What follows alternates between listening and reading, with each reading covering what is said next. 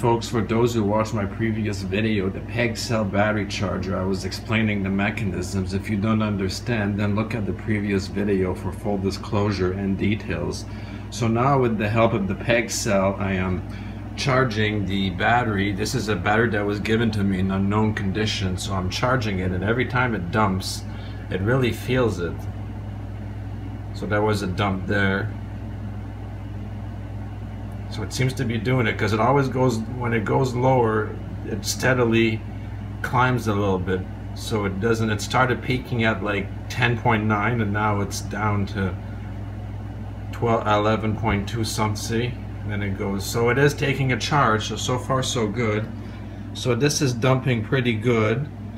Again, the PEG cell is acting as a reactive power supply here, giving me milliamps power from the mains, just enough to drive this 12 volt power supply, which runs basically this high frequency, high voltage neon transformer to charge at 1 kV 28 UF that discharges through the microwave transformer in the high voltage side. So we send the 100 volts high current pulses direct in the battery we also have an additional transformer in line to capture the inductive kickback spike and it's very very strong at 1 kilovolt so I step it down and it's about 24 volts so that's the additional tap that goes there. So I'm recycling both parts of the wave here. And it's doing really good. I'm going to show you the heat here. So it's not acting like basically a resistor that gets really hot. So it's not bad. You see what I mean it's it's a but it's a degree and a half or so more than in here. See 71 on the board. See it's not bad at all.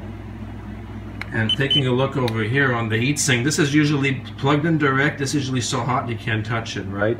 So now that it's limited to a few milliamps, 81 degrees. See, that's really nice around the heatsink, you see? So very, very minimal heat, which is great.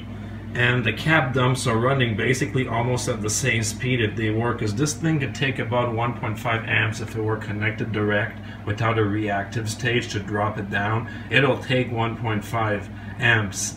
And I plugged it in direct just to see. And to be wasting 1.5 amp, I gain maybe 100 milliseconds in the cap dumps versus using a few milliamps of reactive power instead? With the help of the peg cell it just makes more sense. And again like I've explained the caps don't care if it's low current or electrostatic whatever.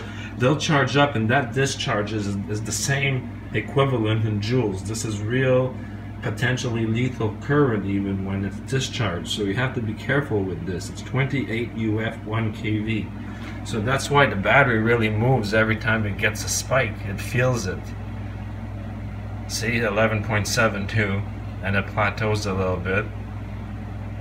And then the next spike, 11.9. So you get the idea of what it's doing. And I'm using very, very minimal current. And it's not like this is being, a, a, a, I explained that it's an open loop. The PEG cell is not a closed loop. There's no continuity. So it's not like you're running a resistor really, really, really hot, wasting all that energy through the PEG cell. No, it's acting like a real capacitive but instead it's electret. So it does a little bit of contribution as well. So it's all about efficiency. And of course, I take advantage of the capacitors here. Having more capacitors in series not only allows me to um, uh, use more voltage, but it takes and it, it basically exploits the memory of rebound effects so that every cycle is a little bit quicker. It starts a little slow and it builds up faster, so may as well take advantage of everything I can.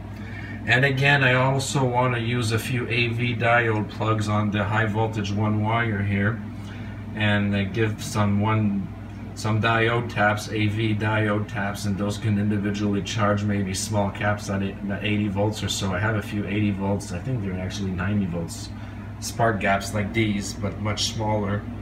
And I could use the same concept to recycle another part of the field, which is the Poynting um, vector field. So um, basically there's watts there not even being used. So I'm doing pretty good with this so far. Our battery is taking it nicely. See now it's jumping to 12. So it's really, it's doing something. doing it pretty quickly too, just in the course of talking here. So just giving everyone a progress update on what I'm doing here. And it's doing very well. I wanted to have like a nice battery charger system with the PEG cell and it seems to be a good application for that. So until next time folks, thanks for watching.